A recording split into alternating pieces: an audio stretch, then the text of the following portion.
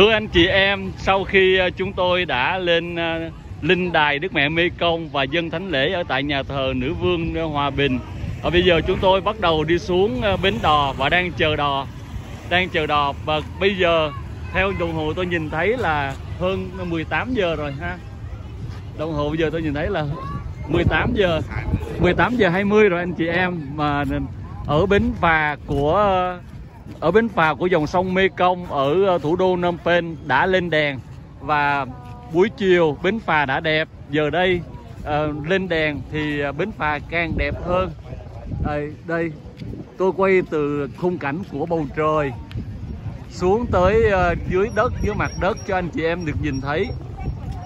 Đây bến phà đã lên đèn. Thưa anh chị em tôi thấy có một cái xe xe ba gác xã à, để tôi vị trí theo họ đây. Đây là xã và ở ở Campuchia người ta không trồng được. Người ta phải nhập từ Việt Nam. Xã là mình nhập từ Việt Nam đấy anh chị em. Và đây là bến phà. À, chúng tôi đang đi xuống bến phà. Bến phà đã lên đèn. Giờ đây là khoảng 6 giờ ờ, 6 giờ hơn 6 giờ 20 à, ờ, gần 6 giờ 30 tức là 18 giờ 30 đó. Và bến phà rất đẹp trong khung cảnh buổi chiều à, anh chị em thấy à, xung quanh xung quanh dòng sông Mekong đã lên đèn và những tòa nhà bắt đầu lên đèn cũng sáng rực.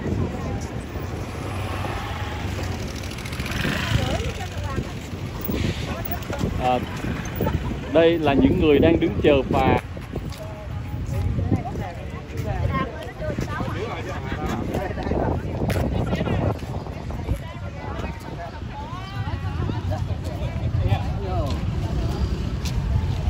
Tôi sẽ đi ra gần bờ sông hơn.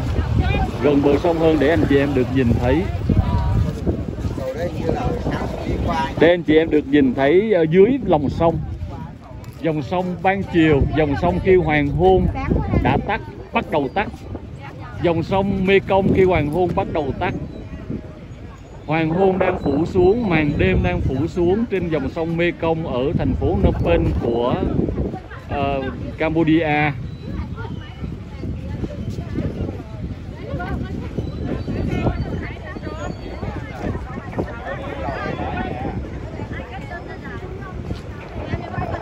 bên tôi đang đứng bên này à, dòng sông Mekong và bên kia dòng sông Mekong à, đèn đã sáng rực những tòa nhà cao đã lên đèn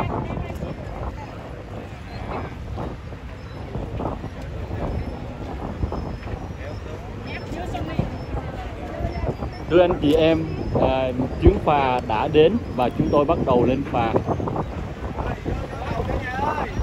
Có phải lên phà này không Tràm ơi? Này không được hết cha, cứ từ từ cứ cho chuột đá đi lâu lâu mới tới một lần À. này cứ chơi đi. À, Không, gió mát tí đi. Gió mát quá. Thưa anh chị em, bây giờ là khoảng ờ, 18 giờ 30 và hôm nay là ngày thứ hai 27 tháng 5 năm 2024 là một ngày trong tháng hoa dân kính Đức Mẹ là một trong những ngày cuối cùng của tháng hoa dân kính Đức Mẹ và cũng là một trong những ngày cuối cùng tôi ở lại giáo sứ Thánh Tuân và tôi cùng với một số anh chị em giáo dân giáo sứ Thánh Tuân cũng như một số anh chị em giáo dân ở một số giáo sứ bạn cùng với cha em của tôi là cha Vinh Sơn Nguyễn Minh Tuấn chánh sứ giáo sứ Hảo Đức của hạt Tây Ninh giáo phận Phú Cường đang có mặt trong đoàn này. Và à, chúng tôi cùng đi hành hương Đức Mẹ Mê Công trước khi tôi rời nhiệm sở cũ là giáo sứ Thanh Phương để đến nhiệm sở mới là giáo xứ Mỹ Vân. Giáo xứ Mỹ Vân thuộc giáo hạt Lạc An giáo phận Phú Cường tôi trong thánh lễ cũng như sau thánh lễ chúng tôi viếng linh đài Đức Mẹ Mê Công chúng tôi đã cầu nguyện xin dân tất cả những cái nỗ lực của cái đời sống đức tin mà từng công dân của Đức Mẹ ờ, cùng với Đức Mẹ kết hợp với đức tin của chính Đức Mẹ lòng yêu mến Chúa của Đức Mẹ mà dâng lên Chúa. À, tôi cũng xin Đức Mẹ chúc lành cho những ngày tháng sắp tới của tôi nơi giáo xứ mới cũng là một giáo xứ có nhiều khó khăn. Ờ, khó khăn không phải về vật chất đâu, nhưng mà về nhiều khía cạnh khác. Ờ, tôi không tiện nói ở đây. Rất mong anh chị em khắp nơi ờ, cũng cầu nguyện cho tôi để chân cứng đá mềm, đầy ơn Chúa mà tôi có thể đón nhận những gì có thể xảy ra cho mình nếu có thể, nếu phải như vậy. Và rất mong không có điều gì không có sự cố nào xảy ra. Đó là điều mong mỏi nhất à, xin Chúa ban cho tất cả chúng ta ơn bình an của Chúa và xin Chúa ban cho chúng ta nghị lực để có thể vượt qua những thập giá của Chúa. Thưa anh chị em như tôi đã nói hoàng hôn đang dần tắt trên dòng sông Mekong ở thủ đô Phnom Penh của à, nước Campuchia của Vương quốc Campuchia. Và đây là lúc mà khắp nơi đang lên đèn. Rất đẹp đây.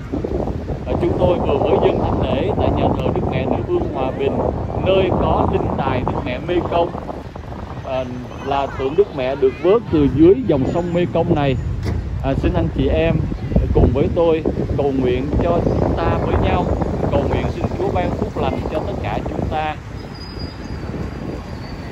À, tôi xin kết thúc ở đây. Xin Chúa chúc lành cho anh chị em. Cũng xin anh chị em cầu nguyện thật nhiều cho tôi xin cảm ơn tất cả mọi người vẫn hằng theo dõi tôi trên các phương tiện truyền thông của giáo sứ Thánh Tuân xin Chúa thương chúc lành cho tất cả chúng ta. Ở tôi xin tắt ở đây nhé tôi xin chào anh chị em, tạm tắt ở đây để tôi lên phà. Cảm ơn anh chị em.